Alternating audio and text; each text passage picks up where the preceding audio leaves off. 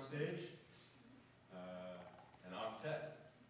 So welcome back James and Darin. And now I'd like to introduce uh, more musicians. On guitar we have Jared Cleveland, tenor saxophone